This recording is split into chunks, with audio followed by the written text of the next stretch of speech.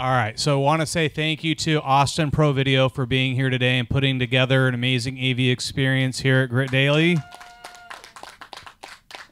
Want to thank Jordan French for hosting us here today. And so it was like a very, very like kind of cutthroat conversation. There was like some like punches were almost thrown. Everybody had to back off. Like, here's my favorite. Yeah, she's wow. and so uh, super tight, but we're going to make the decision that the recipient of the South by Southwest 2023 HubSpot pitch competition is none other than Dr. Chance. So, congratulations.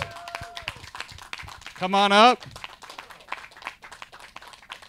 Congratulations. Let's get a let's get a photo with this. Thank you all. Thank you. Why don't you hop in the center? Yeah.